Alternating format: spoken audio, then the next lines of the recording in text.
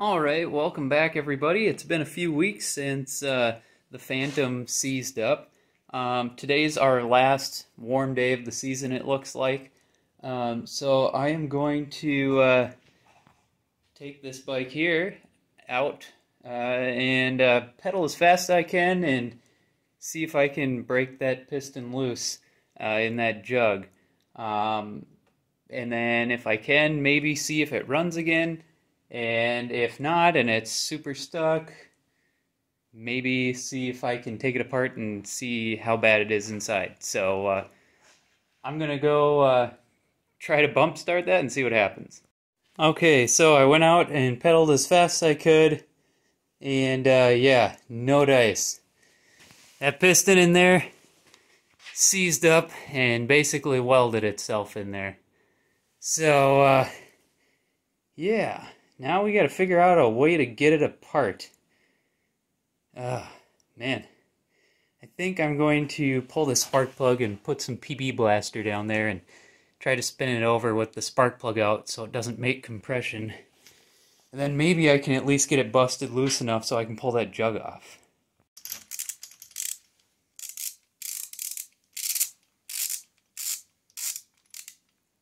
See what's going on with our plug. Ooh. That, uh, let me see if I can get zoomed in here. That doesn't look too hot. Actually, on the contrary, it looks very hot. Um, yeah, I mean, if this wasn't a two-stroke, uh, yeah, that would be a great looking plug. But uh, this tells me that uh, it was running very, very hot. And uh, there's no oil residue on the plug whatsoever. So, the odds of there being oil down there, pretty minimal. Alrighty, see if we can get this thing freed up a little bit. Alright, that should be enough of uh, PB Blaster. Still going through this one big jug. This is way smarter than the little spray cans. It lasts forever and it's way cheaper. Anyway, we'll let that soak for a while. And I'll go out and uh, try to get it to go again. Okay, so no matter how fast I pedal this, or how long I try to drag it along with pedaling, it just keeps slipping the clutch or uh, skidding the rear tire. Uh, so this thing's definitely seized really hard. Uh, so I'm going to go ahead and pull off the side cover where the clutch is. Uh, since we don't have enough torque with those clutch pads, um, I'm going to try to get a screwdriver or a small pry bar on the teeth of that ring uh, that the clutch is mounted to. And then hopefully I can use that mechanical advantage to get the piston moving in the bore. Because otherwise I don't think I'm going to be able to pull this jug off. Okay, I got all the screws out here. This should just peel right off. See if I can save that gasket. Awesome. Okay. Inside of the cover, a little greasy, but that's just uh, from the grease that was put on the ring, so nothing too bad there. It looks like this has already been adjusted. I don't see any bluing on this, I don't know what you call that, flywheel in this case. Anyway, so this all looks okay. Um, looks like the same can't be said for the engine, but uh, yeah, get the rest of this off. Let's see if we can get a, yeah, this is a screwdriver situation. See if I can get a screwdriver in there and get this thing turning. Okay, so by putting this uh, two foot pry bar in here and kind of prying like that and working against the teeth of this smaller gear, I, I don't have full rotation yet, but I do have some movement.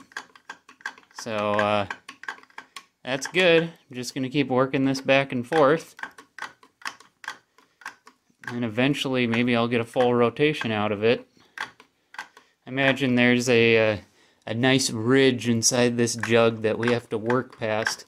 So really counting on that uh, PB blaster to do its job. Well, it's certainly not happy about it, but I was able to get a full revolution out of the crank. Uh, see if I can get past the tight spot here to show you without the pry bar. It's making really bad noises. Oh, God. That's not a one-hander yet. I'm going to keep working this off camera until I can get it to go around freely. Okay, so it took a lot of work, um, and a lot of PB Blaster, and a lot of prying, and I was finally able to get several relatively free rotations out of this engine. Um, it is not pretty by any means, and there's definitely a tight spot. Um, so it's definitely not like good anymore. Um, but I don't know. I'll cut back and show you uh, how it's rotating now, and I don't know, maybe I'll throw the spark plug in and see what the hell, see if it comes back. Okay, see if I can do this one-handed now. There's the tight spot. And it does go past it. Two tight spots, actually. I suppose that's going up and then coming down. So, yeah, I figure I'm just going to throw the cover back on and put the spark plug back in and see if I can't get this thing to come back to life. Alright guys, uh, I hate to be the bearer of bad news, but I tried to start this thing and uh, not only did it not start, it is knocking hard. Like, we're talking hammer on a tin roof hard. I'll give it one more to show you.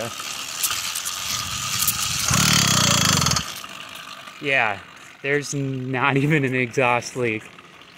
That is just knocking. So, uh, I'm gonna pedal this back. We're gonna disassemble this engine because uh, it's not sounding too happy. Give you one more. Oh. Alright, so I got the engine out of the bike and up on the workbench here. Let's see if we can uh, pull this jug and see what uh, secrets lie inside. Alright, well I got the uh, nuts off of the studs that hold the uh, jug on. Got a little bit of a gap here that I'm working with, but uh, yeah, this thing's still really on there. So uh, I'll cut back once I get the jug off. Okay, so I got the jug off, and you can see in there, see if I can get that in focus, the piston ring, one of the two, busted off, and uh, that was the source of our knocking. I'll zoom in a little bit. You can see all those grooves in there. So the piston ring busted off and was being banged by the piston into the, uh, well, what would be the cylinder head if this was not a one-piece jug. So it looks like, uh, despite having the uh, piston swap, this has failed in the same fashion as all the other ones.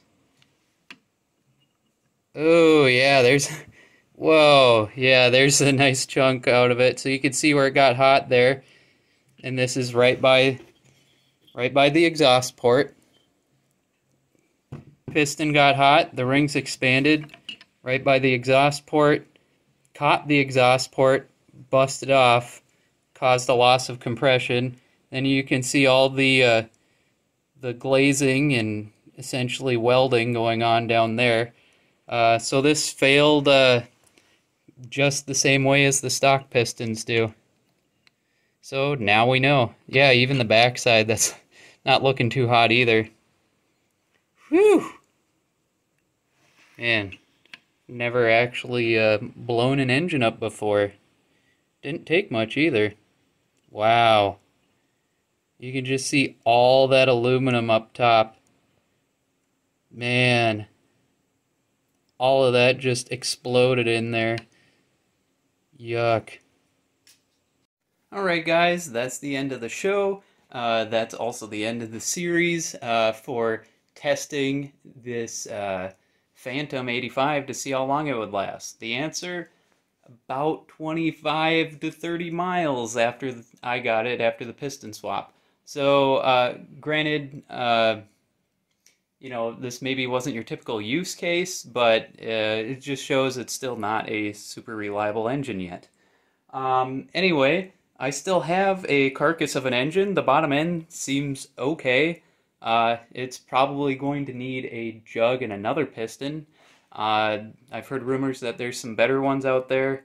Personally, I don't, I don't know if they are any better. Maybe you can you can find out and do a video on it yourself, and uh, I'll link to your video. Um, so that's kind of the idea here. I'm going to uh, throw this uh, this engine in its current blown up form. I'm going to reassemble it, and I'm going to put it on eBay. And uh, I'm sure you've all heard that Hurricane Ian went through Florida and uh, really did a lot of damage down there, and there's a lot of people in need. Uh, so what I think I'm going to do here is I'm going to just throw this in an auction just for whatever the lowest price point is that eBay will let me put it on there. Um, and then I'll let you guys bid on it, and 100% of the uh, of the bid or proceeds of that auction uh, will go to the American Red Cross, which is currently helping uh, with disaster relief down in Florida. Um, so I hope you guys uh, are interested in that. Um, if you are, or if you just want to rebuild this engine and have me and LA Hoverbikes uh, link to it on our channels, that's fine too. Um, go ahead, throw some bids on there. I'll have a link in the description to the auction. Um, and that's pretty much it for today. If you like the video, um, subscribe to the channel. Give the video a thumbs up. And uh, I'll see you guys next time.